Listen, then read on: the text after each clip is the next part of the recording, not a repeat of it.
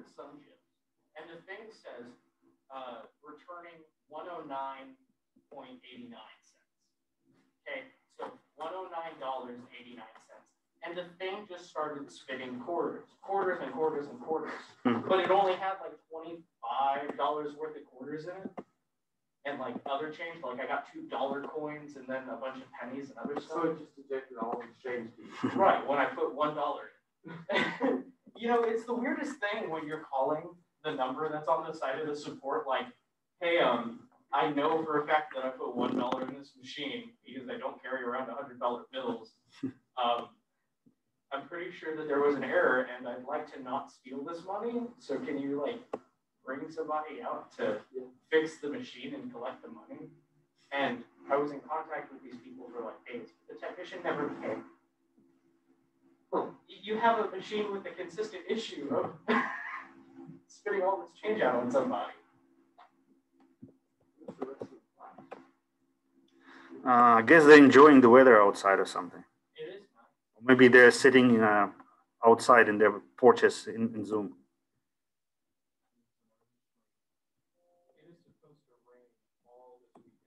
Oh, that sucks. Well, okay, so tomorrow it's like one hour of rain, and you know, if it even rains, but Saturday it's supposed to rain like maybe six sporadic hours throughout the day. Wow. Sunday, it's all rain. That's not good. I was hoping maybe to go to Nashville if the weather is good. I don't know about that. I just hope that it doesn't do the thing where it gets rainy and then super hot afterwards. you know, because we live in Kentucky. Well, every time in the summer, uh, when I played soccer in high school, it would rain and the next day you have like 110% humidity. Yeah. So like, you, you just don't, it doesn't feel right. You know? Yeah. Okay, friends, we're about to start. Can you hear me in Zoom? Yep. Okay, good.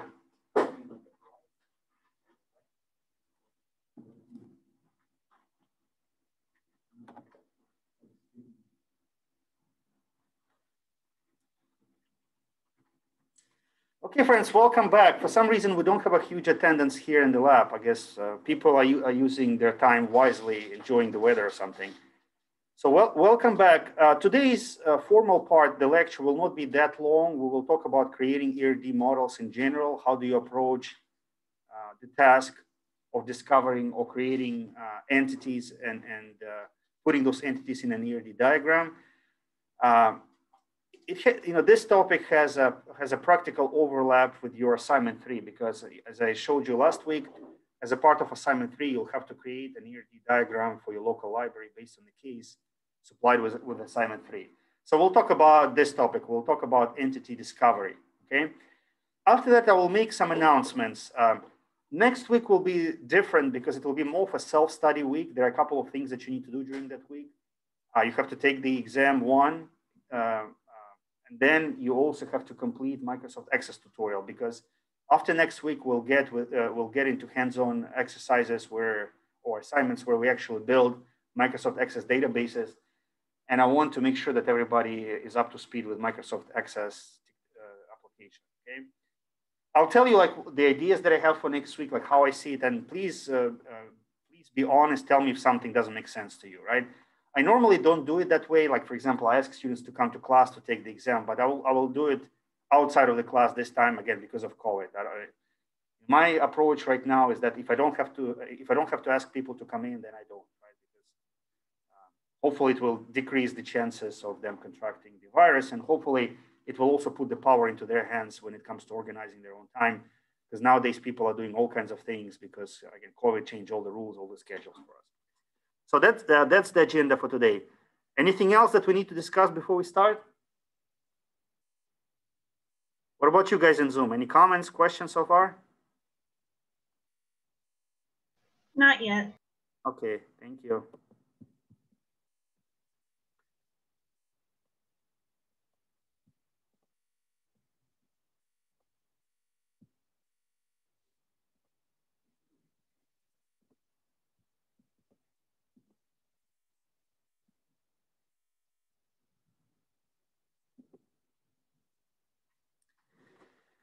Okay, so first we will talk about creating ERD models. What are the generic steps that you need or phases that you need to go through to create an ERD model? Again, this topic has uh, has that practical has practical relevance for your assignment three, where you have to create an ERD model for your local library. So uh, those are the steps that people typically go through. Uh, I think somebody needs to stand up and walk around because it has some kind of motion detector. Thank you. So yeah, if you have to, so when people, when systems analysts or business analysts, when they work uh, for organizations, when they have this task of, for creating a data model that will be further implemented by database designers, they typically follow the following uh, steps or phases listed here on the slide. First of all, uh, they start with, with context data model. Sorry, one second, let. They start with context data model. Uh, that includes uh, entities and relationships without any details. So they just put those boxes on the screen on their diagram and they think about relationships and cardinalities without thinking about any details, right? So this is like a sketch of an ERD diagram. As a second step, what they do, they create a key-based data model. So once they have a sketch of their ERD diagram involving those boxes, uh, th those uh, uh, rectangles with rounded corners and those lines that depict relationships, once they figure out cardinalities, they start adding primary and, formal, uh, and, and, foreign keys, okay? So this is the step where you also, uh, where you can also uh, fine tune your cardinalities, right? Because once you have uh, primary keys inserted, you can think about one to many, zero to many relationships. You'll think about parent-child rules and things like that. Uh, after that, you create a full attributed data model. So once you have your boxes, your, your relationships with cardinalities, you add all the relevant attributes to all the entities that you have on your ERD diagram. And after that, you normalize your model. So you go through normal forms one, two, and three, as we discussed last time, to make sure your model is good, right? It's, it's simple, it's non-redundant, non-redundant, and also flexible and adaptable to future needs. And throughout the process, you, you can capture metadata. For example, you may have a dictionary where you, you keep track uh, of entities that you're creating, you're describing those entities. You also keep uh, track of attributes, their data types, what those attributes are storing. And that's something that you will have to do as a part of step one, right? Remember, I asked you to create a table for each entity. So this is like your metadata about your ERD model. And I told you when I look at your ERD diagram, when I look at your submission, if I don't understand something about a particular entity or an attribute, I will go back to that part one, which contains your dictionary, right? Where I can quickly look up what you mean by a particular entity and what you mean by a particular attribute. Okay? So, so that's exactly uh, that's exactly your assignment three. Now, a few comments on entity discovery. So we kind of started with this assumption that you already know what those entities are, okay? But how do you figure out what kind of entities you need to have on your ERD diagram?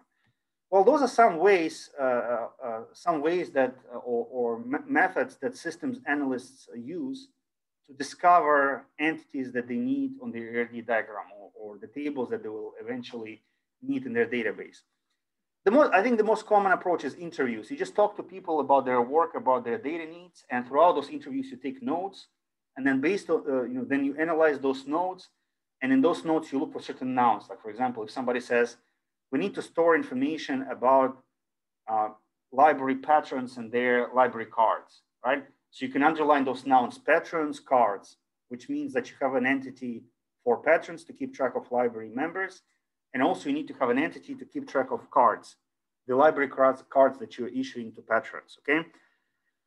Uh, so, so this is a basic interview. By the way, the notes that you have for assignment three, remember that file, that PDF that I gave you that comes from your textbook, right? It looks like a series of notes that the systems analyst put together after interviewing people who work at the library, okay? So you already have those notes.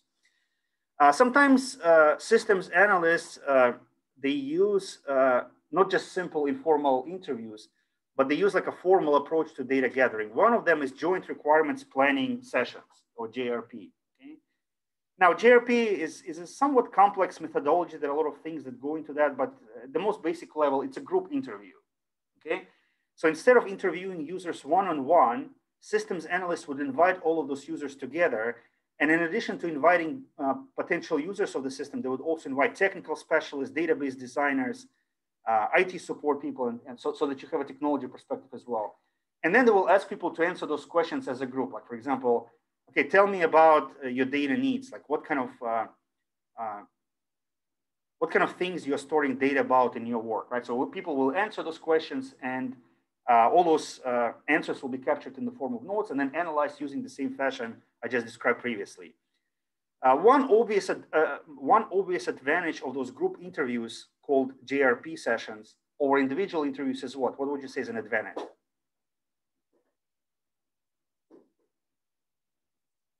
So why would a systems analyst interview people as a group as opposed to interviewing users individually? What's the advantage?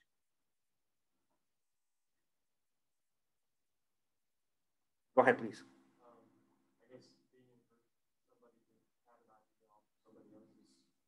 Okay, so it can stimulate thinking or creativity in relation to requirements, right?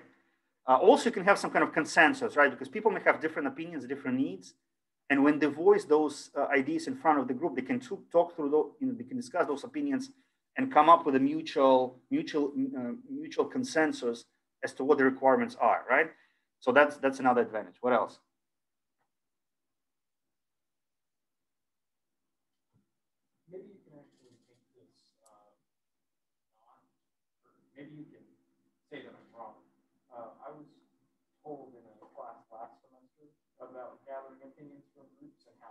In a way can be harmful because uh, obviously when you're in a group, sometimes they follow each other mm-hmm. rather than speaking of their own opinion. If they see a generalization, they'll just go along with whatever. Yeah, you're right. Yeah, so. Yeah, I think they call it group think, right? So that's the disadvantage of group interviews. Sometimes people are influenced by by groups, right? To the point when, when they don't speak because they're afraid that the group will somehow punish them for voicing their opinion, right? Yeah, that's a disadvantage of group interviews. That reminds me, I was once a member of a task force and the situation was interesting. There were three people with me in that group. Well, there were like probably five or six people in that group, but three people were from the UAE army. So they were army people. But because they wore like the civilian clothing, I couldn't, I couldn't, I mean, I couldn't really understand who they are. I mean, I knew they're from the army, but I didn't know their ranks, like where, where they, their station things like that.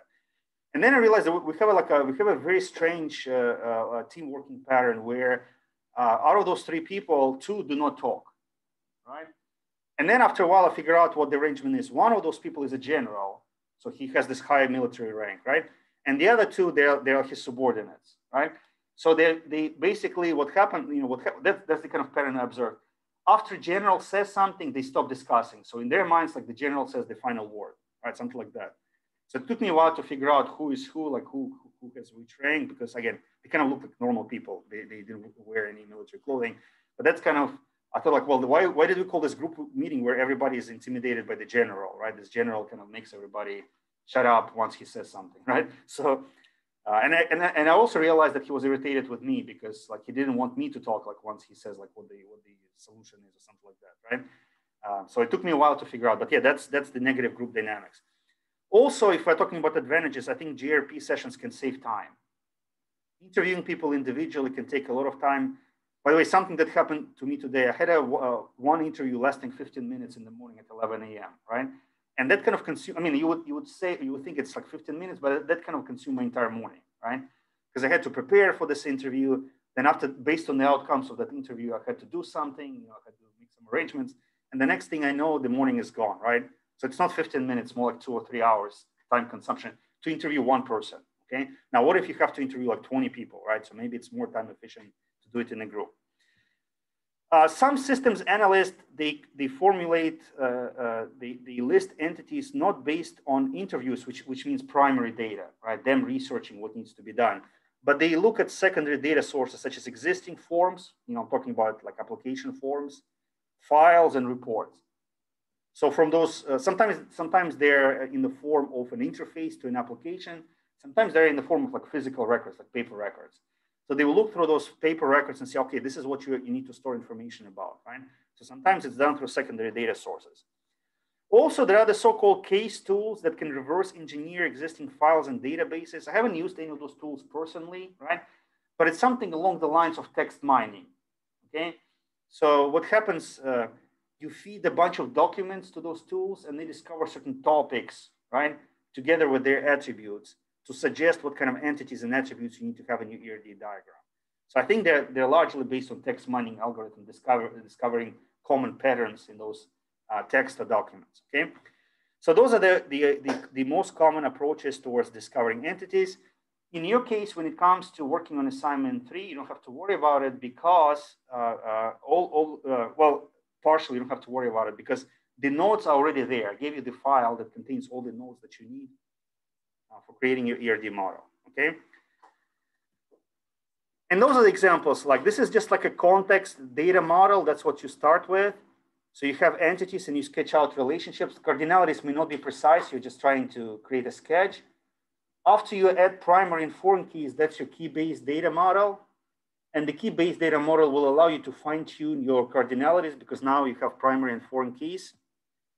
And this is your final result, the full attributed data model, a model that has all the uh, all the entities and all the attributes listed in those entities. Uh, by the way, in relation to assignment three, people asking me like how many attributes is enough? Uh, and I, I, like in a way, I don't want to answer that question because it depends, right? It, it depends on, on, on, the, on, on the scenario, right? So I cannot say, oh, you need to have, you know, I don't know, six or seven attributes, right? Uh, but generally speaking, give people this rule of thumb. I, I, understand that you cannot capture every relevant attribute because otherwise your model will be huge, right? So maybe like at least five five attributes per, per entity. That's that's how, how many you need, right? So that's kind of rule of thumb. Or maybe I should say around five attributes per entity. Okay, so so this is uh, this is it. This is how you approach uh, creating an ERD diagram, and uh, we'll uh, switch to assignment three in a second. Before we do that, let me talk about our plans for Thursday. Uh, I'm sorry, for next week. Okay, so this is what I have. And feel free to, to, to tell me your thoughts, like in case something doesn't seem to be like uh, a good idea. Maybe you, you, you know a better way of organizing all those things. Okay, so let me know, i I'd appreciate it. So look, this is what you need to do for next week. You need to take exam one, which covers everything that we, uh, that we, uh, that we covered uh, since the first day of the semester. So all the modules that come before uh, are covered in exam one. Uh, if, uh, in order for you to, if you want to know which specific topics will be covered by exam one, you know, here I created a study guide.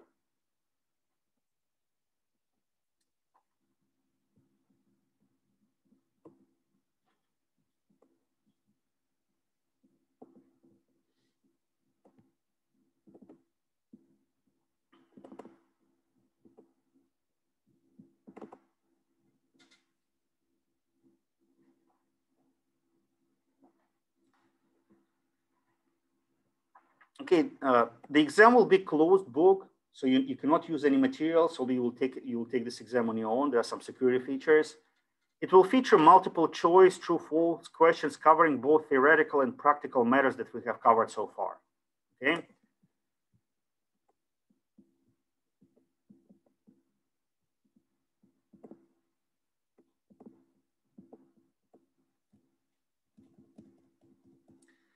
Okay, so yeah, so it will feature multiple choice uh, true false questions similar to what you what you saw uh, during quizzes when you took when you took quizzes for respective modules. The format of the questions will be quite similar. How do you prepare for the exam? Well, review all the materials. You know that includes our notes, our presentations, our video lectures. Uh, today, I will try to make sure that all of my lectures, including this one, are properly uploaded to YouTube channel if you want to revisit them. Again, I would like to remind you that we have another playlist which contains the same series of lectures, but in a more focused fashion. They're not Zoom lectures, they are the lectures that are recorded on my own home computer, okay? So use those and then use this key concept section to, to review for the exam. So all those concepts or most of those concepts will be touched by the exam, right? Of course, not every detail because otherwise we'll have a huge exam, but um, you can think of, of it this way. I will randomly select which specific concepts will be covered by the exam. So you need to know all of those concepts to do well on the exam. So remember, we started this class by talking about decision support systems. The first subtopic was cognitive biases. We talked about all of them right here. We talked about information requirements by management level. Uh, we talked about uh, approaches to decision making, types of knowledge. Then we talked about business intelligence. So remember, we discussed all those uh, elements or parts of business intelligence architecture.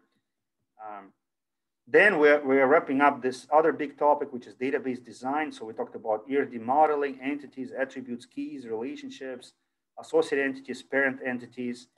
Uh, last time we talked about normalization, right? And today we, uh, we finished this, we wrapped up this topic by covering stages in ERD model development, okay? So now you have everything that you need uh, to take exam one, okay? Now, how do I see it happening? Uh, this, this is what I came up so far. And, and, and right before class, I kind of changed my mind a little bit with respect to dates. Now tell me if it's a good idea or bad idea. At first, I wanted to make this exam due on Wednesday.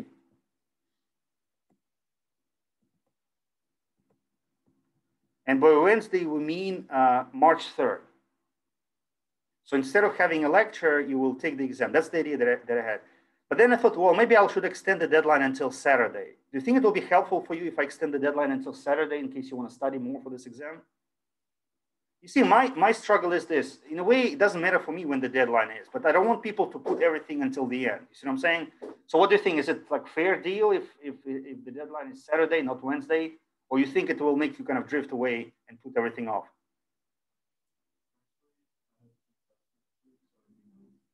Okay.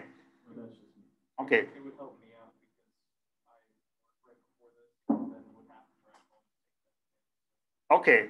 Okay. So let, us do it Saturday again. If you're put, if you're one of those people who, who is uh, putting everything until the last uh, day, then I guess it's you who to blame, right?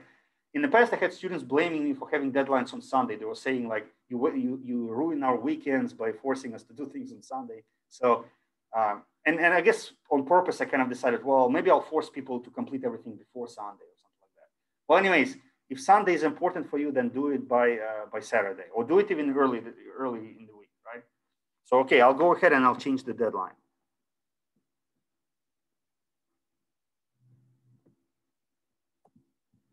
Now, there's one thing I didn't do. Taking this exam will require lockdown browser and a working webcam. Have you done this before? Is there anybody who doesn't know what I'm talking about?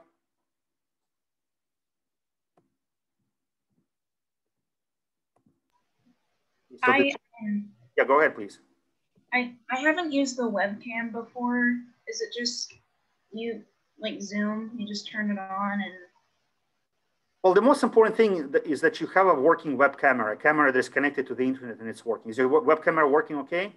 Yeah, yeah. Yeah, I guess with, with Zoom, everybody has a working web camera. So you shouldn't worry about it. What's going to happen is that uh, when you try to take this exam, it will ask you to, uh, uh, first of all, to make sure that you have your camera on, it's working, it's connected. And then it will ask you to go through certain security procedures. Uh, for example, uh, it will ask you to show your surrounding. Like for example, you will take your laptop and kind of move it around to show what's around you, right? Uh, also, when you take the exam, it will, you know, you you need to keep your camera off, uh, on. I'm sorry, not off, on. So what's going to happen if your face disappears from the screen? The system will flag your video, your, your exam video, right? And it will send me a message saying something suspicious happened during exam. This is to make sure that people take exam without any notes and there's nobody in the room helping them, okay? It will ask you to show your ID into the camera. Any ID will, will do, like your student ID. You don't have to show your driver's license. Uh, it will ask you to show around you to show your surrounding and things like that. And then after that, again, you'll be taking exam while the camera is filming you.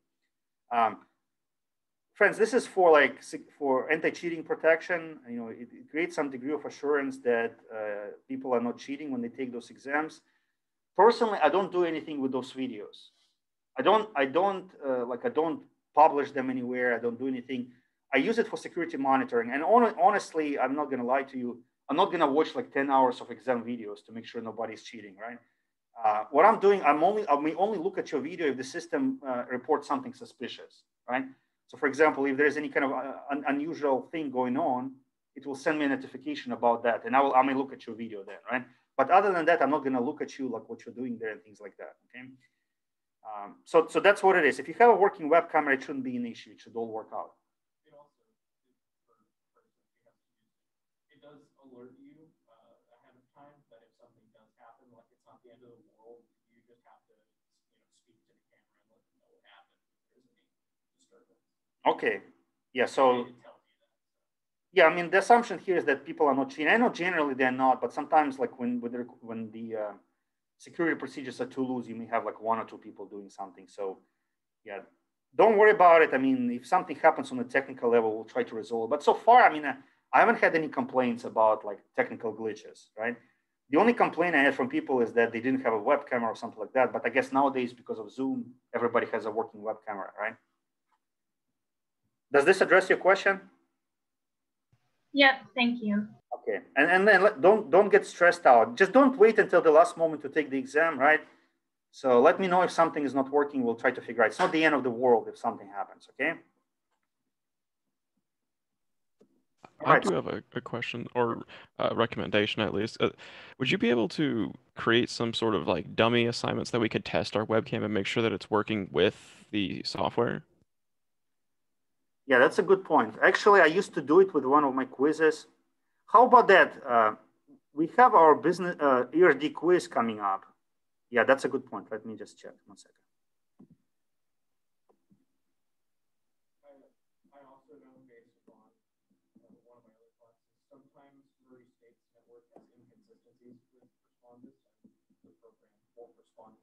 Mm-hmm.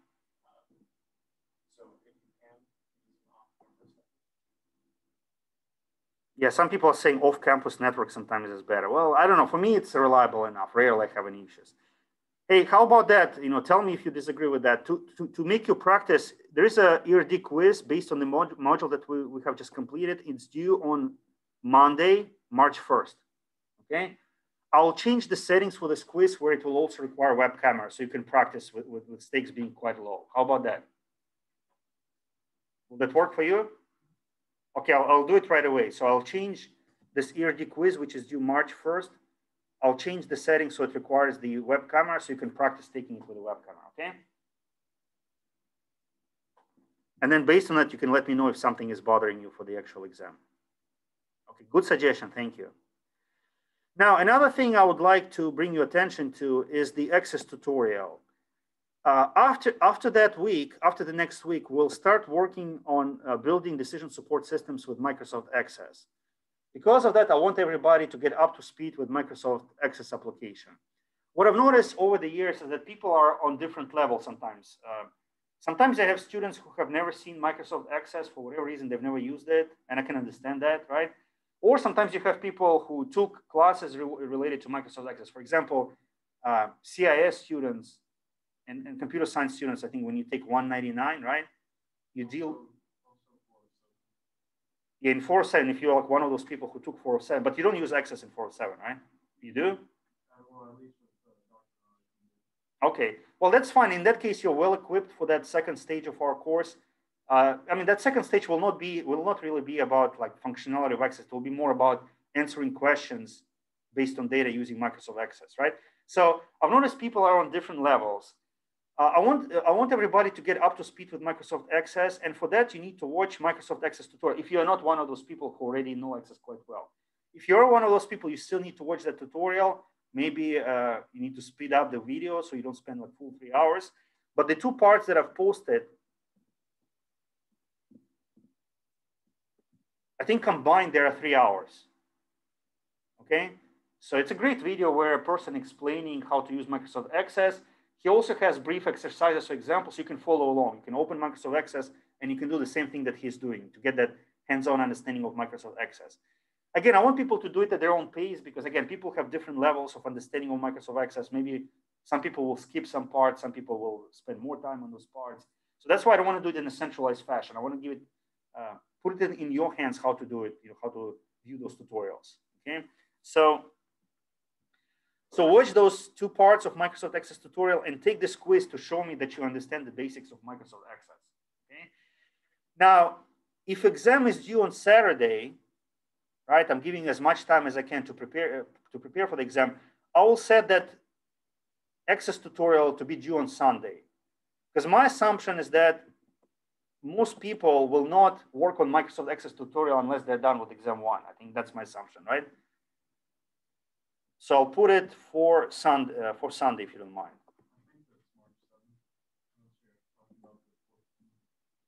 Let me change the deadline.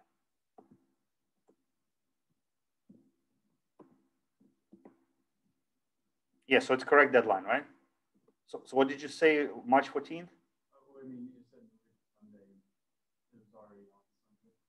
Yeah, it's already on Sunday. Yeah. Yeah, I just wanted to make sure it's correct.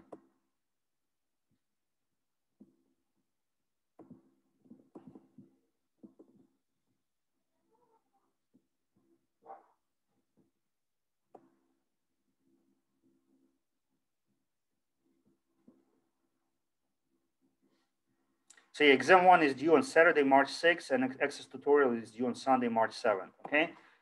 Now, during normal class, I will be available in Zoom in case you want to connect and discuss something. For example, if you're preparing for exam one, you can ask questions, or if you have any other questions, you can uh, connect and, and talk to me, right? So it will be like more of one-on-one -on -one work rather than a formal class, okay? So what do you think about this plan? Does it make sense?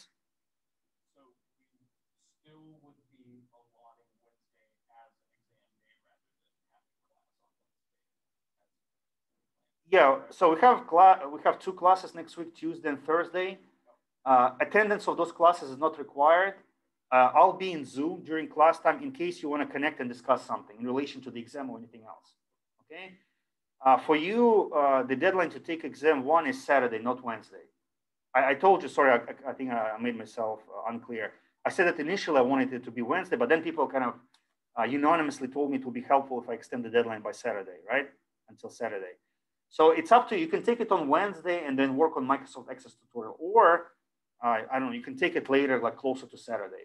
My advice to you, don't wait until Saturday midnight to start taking the exam. I mean, that will be too late. That's when people run into all those problems like, oh, my web camera is not working, my internet connection is not working. Because if you try to do it, let's say by Friday, then you have like one day to figure things out before the deadline, right? Go ahead, please.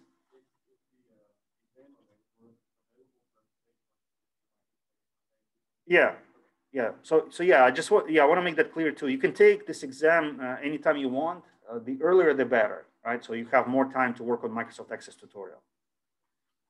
The exam is available actually now, so you can take it now if you want. But of course, you need to prepare for it before you take it. Go ahead, please.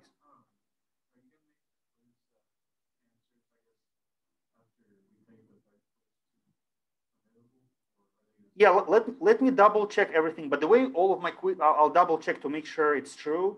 But the way my quizzes are set up is that you have answers available two days after the deadline, right? So let me know if this is not true for one of the quizzes. It, it probably means that I forgot to change that setting. But I'll double check right now too.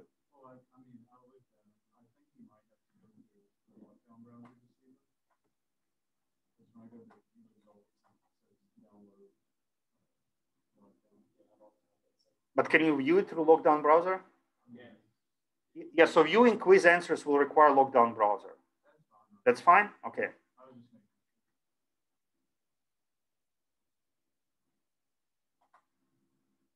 All right, so we, we figured everything out, right, for next week.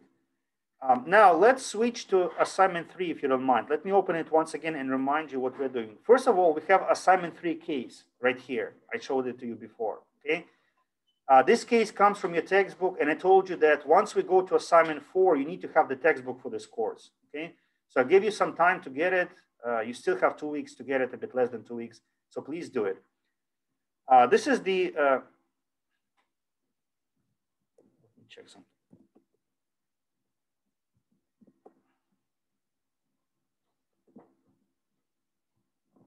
I made assignment.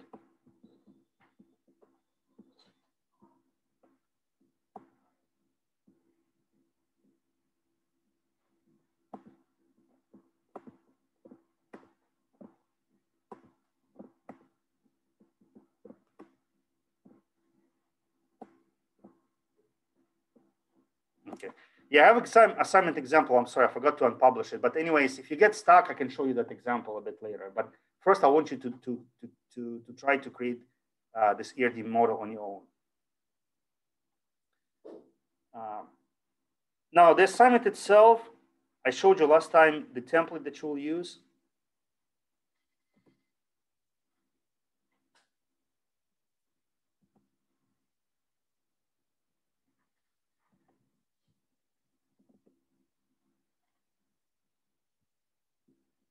So first you need to list all the entities based on those nodes. So you'll create one table for every entity and then you list attributes together with their data type types. And then you will create as a part two, in, in the second part, you will create an ERD model, fully attributed normalized uh, ERD model, okay?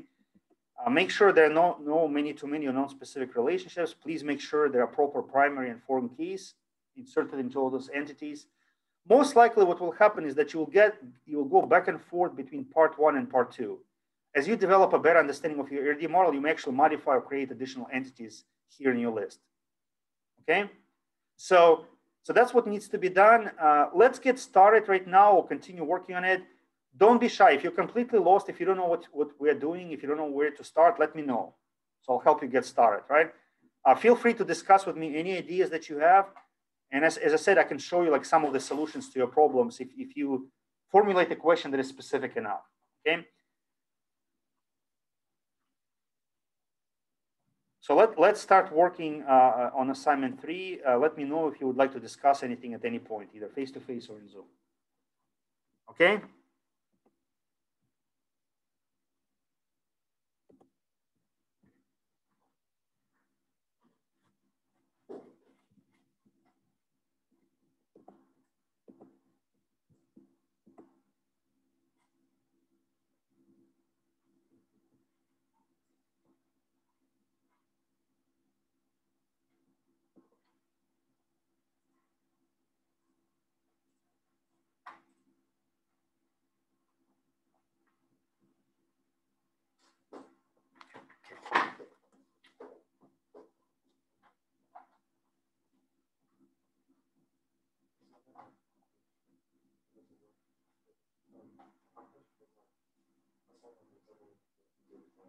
No,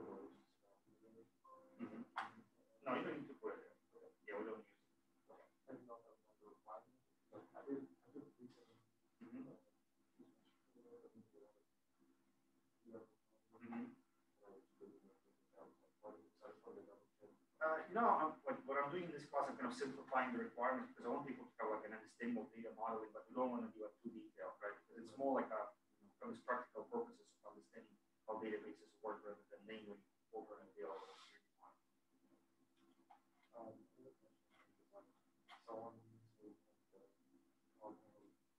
Okay.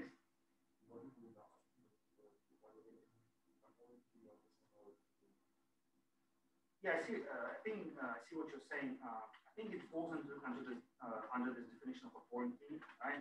However, I'm not requiring you to mark it as a foreign key because I see it's an associated entity, right? And by definition, it has a compound primary key comprised of primary keys of other entities, right? So I feel like it's redundant. So I'm not going to be uh, requiring you to mark them as foreign keys as well. Okay. Yeah, I mean, this, I was, I think this is like the only part of the, the part that's like the, the employee one, just like. feels like it's Yeah.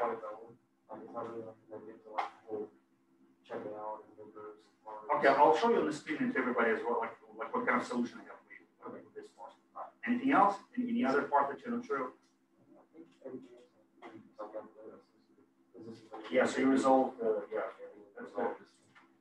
With the office and numbers. Yeah, so it's good, looks good. X, two, which is, Yeah, table one, table two, yeah, uh, I remember from last time, we think all? Yeah, you need, I keep changing it because like every time I teach this course, something changes with those web tools. So I told everybody to use draw.io.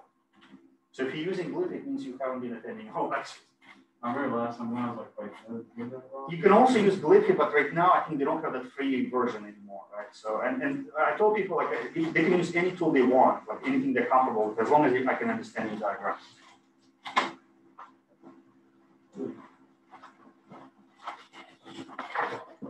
Okay, I'm back to Zoom. I, I want to show you something. Just one second, please.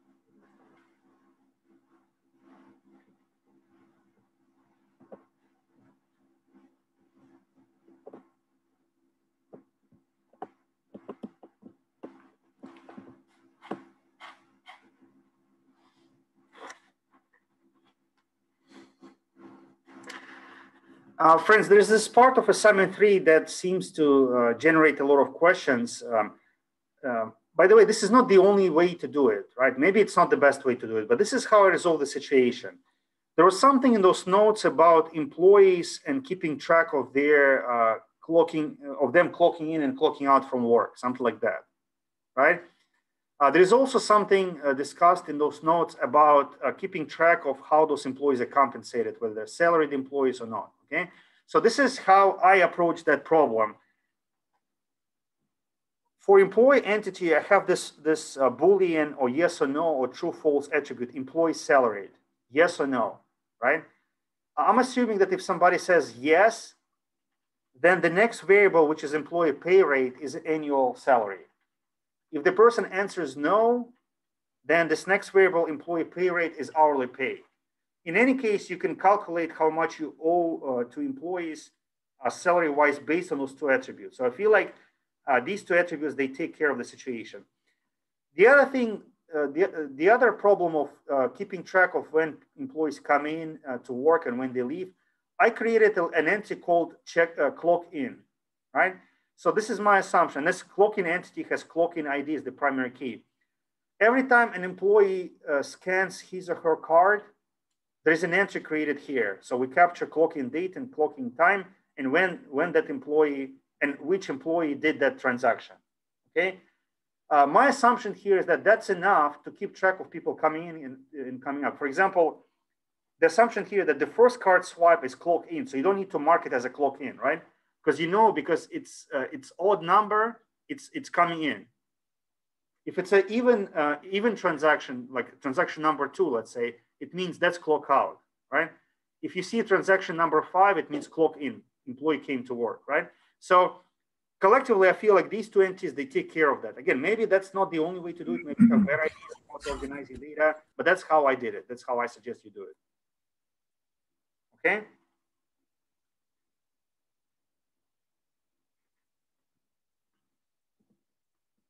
The other two uh, things I would like to bring your attention to is this.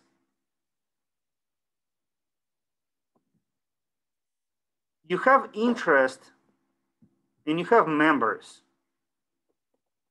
Now, one member can have many interests in terms of book categories, and one interest or book category can have many members associated with it. With it. So because it's a many-to-many relationship, you resolve it by creating an associative entity in between.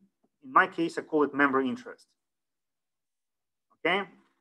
And the same thing, the same problem you will see in the relationship between books and authors. One book can have many authors, one author can have many books. It's a many-to-many relationship. You need to resolve it with the help of a book authorship associative entity. By the way, when you create an associative entity, it will have, by definition, a compound primary key. You don't have to mark those parts as foreign keys.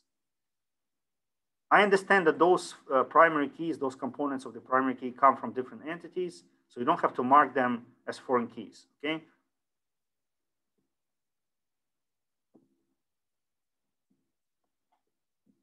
Okay, so so keep working, please. I'll take attendance now. And Let me know if you get stuck. I'll show you like how I, I approach like some of those uh, issues in my ERD diagram. I think it was actually one of the students' diagrams, but I worked on it a little bit. I improved it a little bit.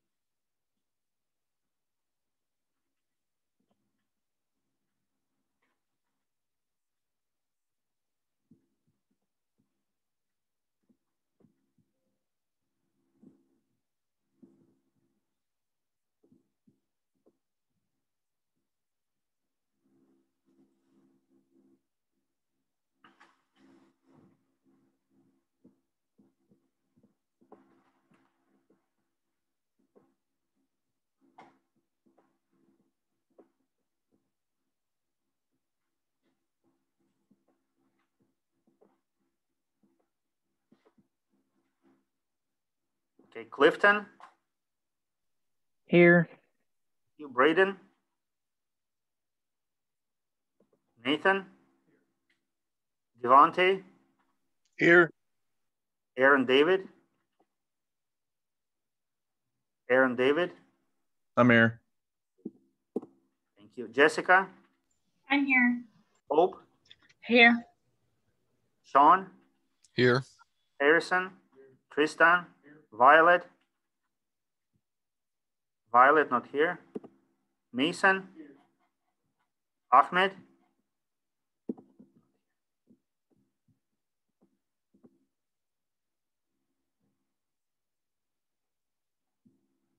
Wesley? I'm here. Aaron Haney? Not here. Tucker? Here. Thank you. Janice? Here. Jacob? Here. Caitlin? Caitlin? Jason Reynolds? Here. Brendan? Brendan not here. Casey? I'm here. Thank you.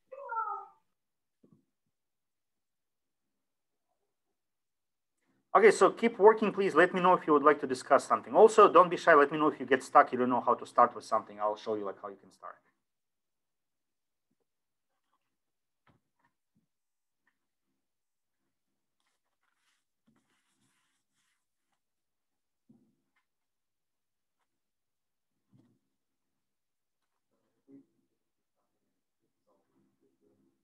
Say it again, please. Yeah. Yeah, you're free to go if you're done with assignment three. Maybe start studying for exam one today or something. I, I have a question actually about um, attributes actually. Okay. Uh, I was wondering if the attributes are supposed to uh, kind of share the entity name. Like for example, let's say you have like a member table and you have like an employee table. Mhm. You're gonna have name listed on both of those. So if I just call it name, is it fine? Or do I need to say like member name or and then employee name? Uh, this is the naming convention that I'm using. Like when I name attributes, the first word is always the name of the entity. And I hope you see why, right? Because you may have name in employee, you may have name in, in, the, li- in the library card entity, you may have name in the uh, library member entity, right? So when you look at this attribute, you cannot understand immediately what kind of name you're talking about, the name of the library member, employee, or the name on the card. So that's what I recommend. Although uh, I've seen many people, uh, I see uh, a lot of people not doing that. So that's my convention. I, I highly recommend that you use it, but I don't. Uh, I guess I'm not requiring it. Okay, thank you. Right?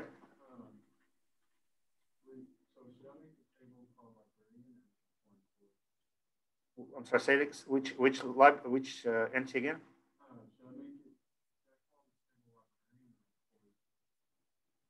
Uh, yeah, that's a good question. I mean, a lot of those things that are kind of uh, up to uh, your interpretation. I would call it employee, right? Because to me, librarian is somebody who actually works with books, right? But you can have other employees at the library; they're not necessarily librarians, right? Maybe I don't know, cleaning technicians or something like that. So, so that's why I think employee is a better name than librarian.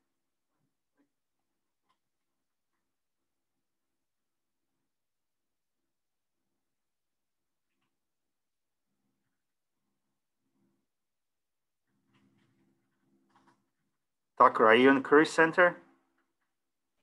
Yeah. Well, you should have come here. I mean, if you're going to university anyway, you could have come to the lab. Um. Yeah, my fault. Well, I guess it's better there because they have access to Starbucks and food.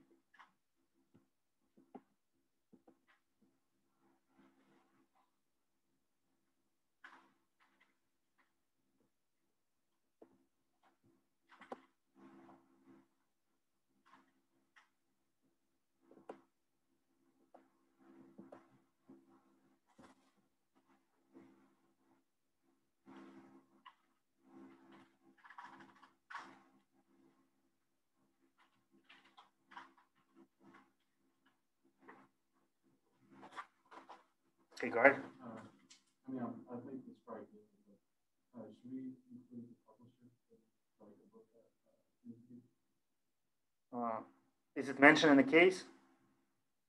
I mean, is it discussed in the case? I mean, it seems like a good idea, right? I'm just saying that you don't need to include everything that you can think about the book, right? As long as you have like around five attributes, that should be fine. But if it's mentioned in the case, then you need to include it. Let me see what I included for books. I guess I included publisher as well. Yeah. No, actually, I didn't.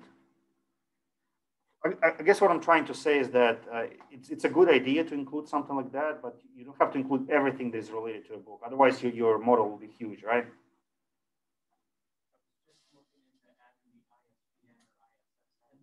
That's what I did. I added ISBN 10, and that should take care of publisher as well, because you can always look up by that ISBN number. You can see like what's the title, or who is the publisher, and things like that.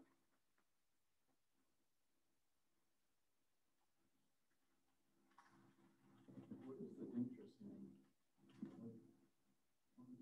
So, based on trends of reading, right, they would use uh, human or algorithm to generate a trend interest on something. And so, uh, a book can have many categories of interest, but It's a subject, basically. I'm sorry, I'm sorry.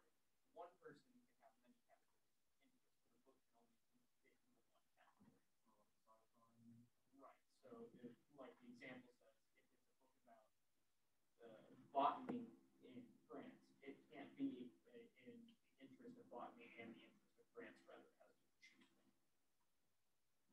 So which is the greater strength, botany or France? So it's like a book category, book, book topic, something. And the reason they need it because they want to classify books and also they want to inform members if a new book within their interest arrives.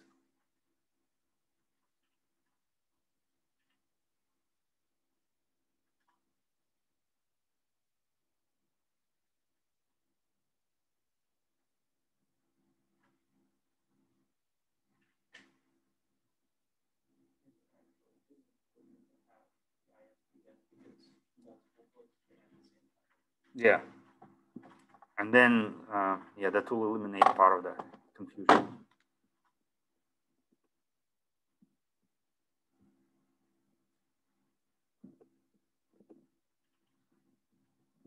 If you're joining us in Zoom, I would like to show you what we've been talking about. We've been talking about uh, classifying books according to interest, which means like a topic like sci-fi, uh, I don't know, business book, things like that. And then members, they're also related to those interests because we want to know which books a particular member is interested in. Now, in accordance with the case with your notes is that one book can, can only be classified into one category or one interest category, while one interest category obviously can have many books, while members can have many interests and interests can have many members. So it's a many-to-many relationship. We need to resolve it like this with an associated anti-code member interest.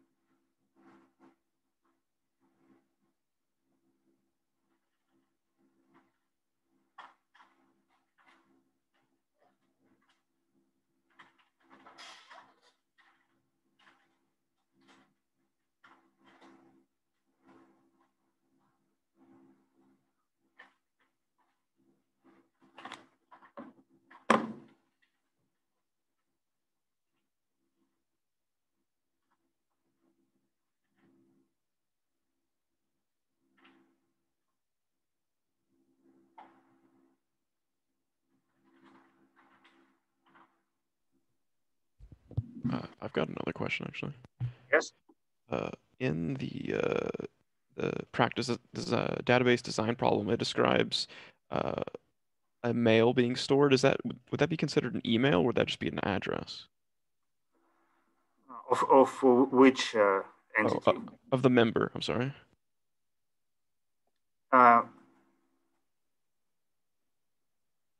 oh yeah, it's probably uh, just one second.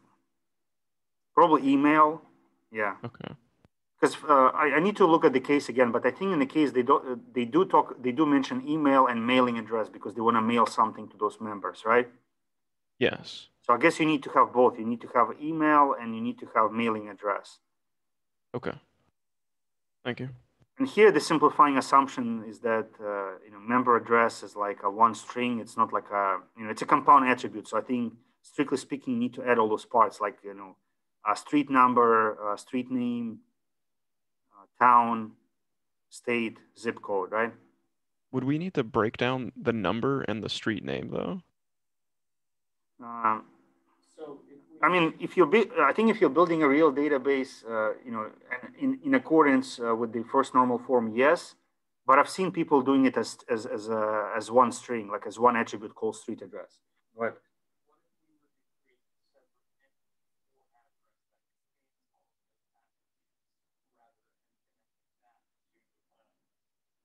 Yeah. Yeah, I've not like I've seen some database developers uh, doing something like that. What uh, Tristan is suggesting, uh, what they do, they create a separate entity called address, and then there's like a one-to-one relationship between members and addresses. Now, in a way, there is no such need. There is no need to create a separate entity for somebody's address because you can assume that the address is entered into in, into the member's entity. However, even if if this assumption is correct, um, some database designers, they like to separate entities because address is an entity different from the member. So they create a separate entity. And also another assumption, you know, uh, like a different assumption could be that a member can change his or her address. So in that case, one member can have many addresses, right? So that's another way to go. You can create a separate entity called address. Yeah, that's a good suggestion.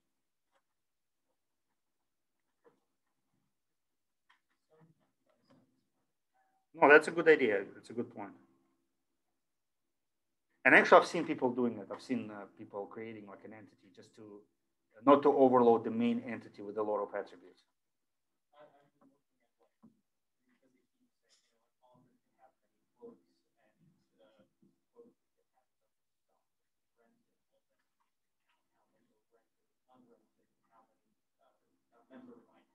Mm-hmm.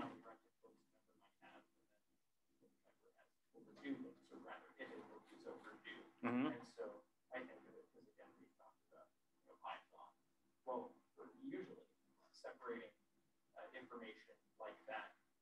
Stored in a dictionary. Mm-hmm. Right? And so you have one variable in that sense that contains all of that data rather than explicitly stating all of that data within the rest of the member data. Yeah. Well, structure usually means it's better. Having structure is better than not having structure. But of course, you cannot take it too far and have like a very highly structured database that is too complex to understand.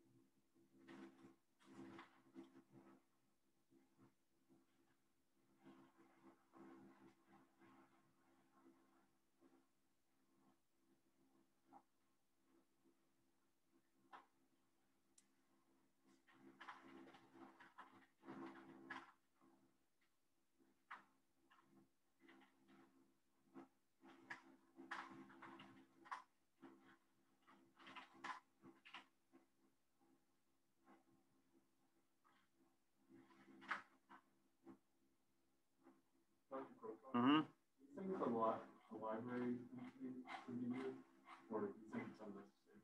I think for this specific case, it's probably not necessary because there's only one library. Because there's only one library, you don't need to create a table for it, right? However, if you're talking about a library with multiple locations, which is not the case for, for us, right? Then you may have an entity called library, right? So I guess the whole thing, your entire ERD diagram is your library. So the, but, but it comes down to this. If you have only one entry, one row, then there's no point for creating a table unless you anticipate that there'll be other entries there in the future.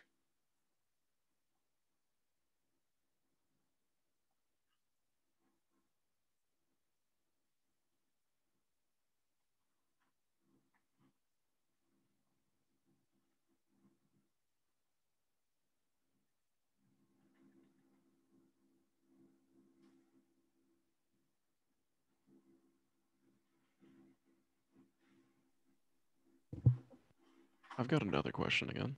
Okay, go ahead, please. Um, so for an attribute that's made of other attributes, like, a compound one, like member name, Mhm. uh, would we just simply say for the data type that it's compound? Or would we like I- I would just list data types for those uh, parts of the compound attribute. Okay. So maybe mem- member name will not will not have a data type because it can have uh, uh, sub attributes of different data types. So that's how I would do it. So would we leave that field blank on the on the table, or would, or, or what? You would can you leave it blank, or as you said, maybe mention it's a compound attribute. Just put compound. Okay. Okay.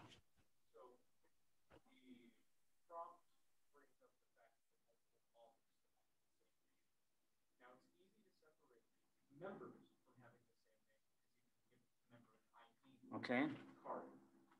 However, I'm not familiar if an author has an associated with them universally or not. How would you discern multiple authors for the same? Uh, well, here I'm just using author ID as an attribute, right? Okay, How exactly it works in real life, to be honest, I don't know because I'm not a librarian, right? maybe the library. Uh, I do know that now, I mean, actually, I take it back. I, I do know that nowadays for authors, and by authors, I mean researchers, people who publish papers, they give you that universal code. And I forgot the acronym, but it's something like OEI, something like that.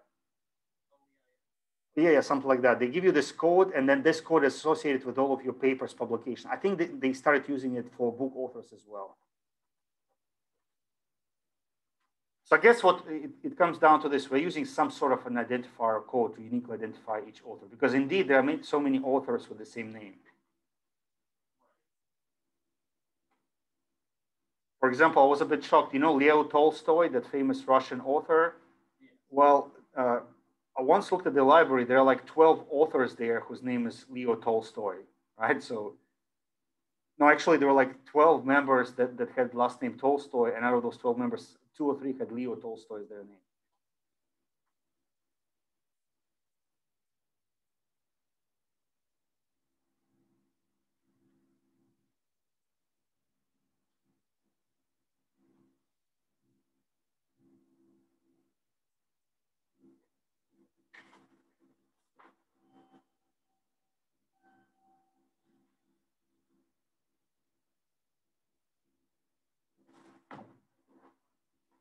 Did the book have like the author ID or author name? in it?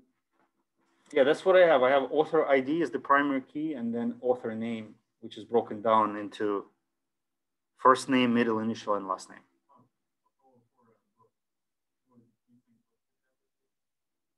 No, the, you cannot have author as an attribute in a book entry. Is that what you're suggesting?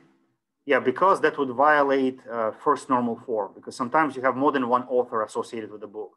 Some books are written by several people, like textbooks, right?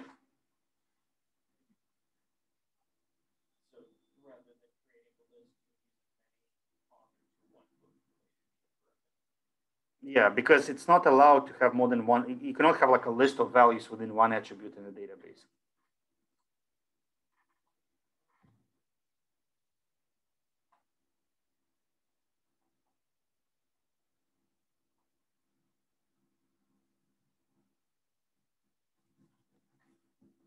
How did you separate?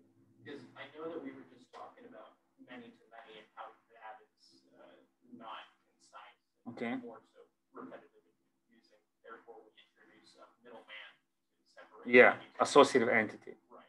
Um, so many authors can write books.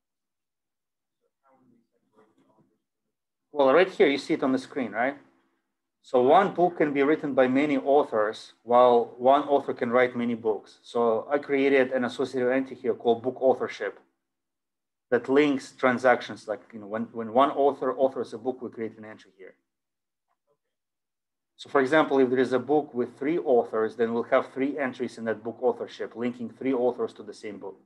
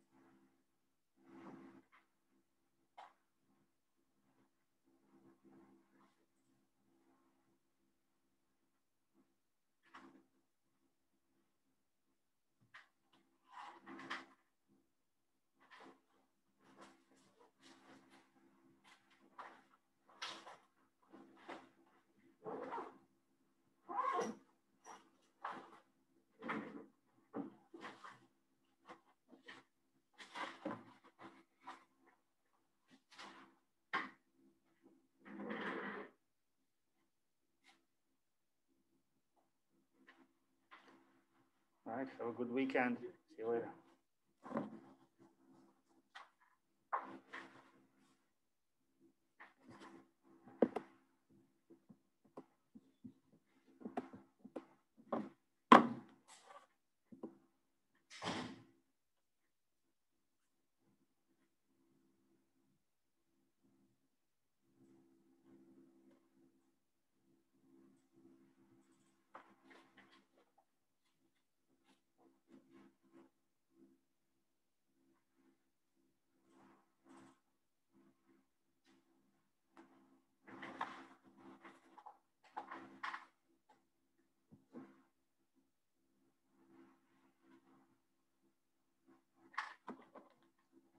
Jessica, are you okay? Do you have any questions? Um, yeah, for the uh, librarian, that would be connected to employee, right? Because they work there. Um, You're talking about employee and what else? what librarian? Uh, let me show you like how uh, how we did it here. Just one second.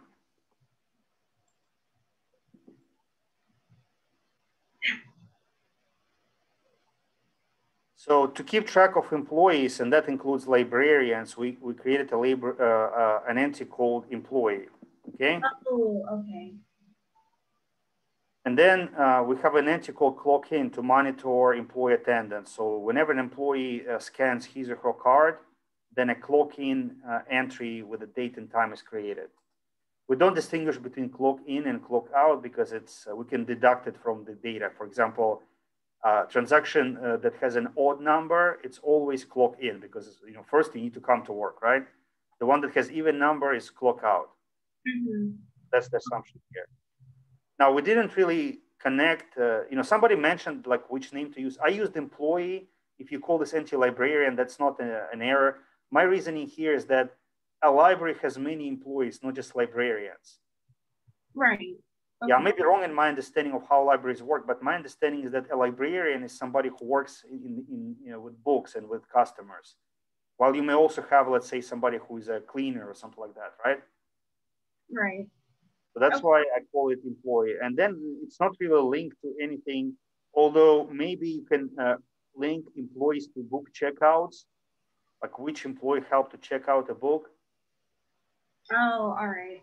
Maybe, uh, although it wasn't it wasn't specified in the case that you need to keep track of which librarian or which employee checked out a particular book to a library member. Okay. All right. That's that's all. You see it on the screen because I'm showing you like how it looks like. Oh yes, yes. Okay, okay, good. Okay. Thank you. That's that's all I have. What else we have there? Oh, Jason left. Come on in. Okay. Okay, I was actually going to your office, but we can do it right here. I'm done. I'm actually. Okay, guys, I'll, I'll and connect because I have somebody from IT here. Okay. Guys, see you. Se- send me an email if you have any questions, but preferably with your